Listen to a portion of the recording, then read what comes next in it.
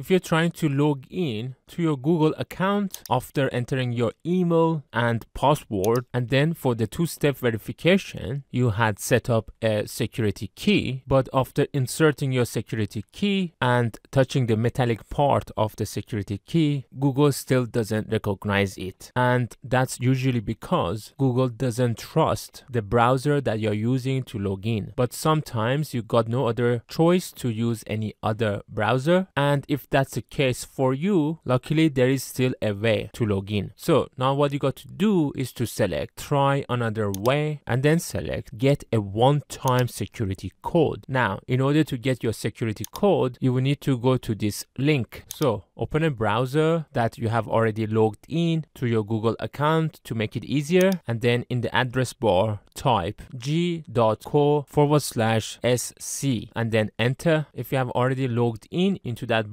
browser, then it would ask you to insert your security key and then touch your security key to verify. And then it should accept it and then give you the one-time security code. Then you could click on copy code and then paste it to enter the security code box. Make sure don't ask again on this device is checked and then click on next to successfully log in to your account.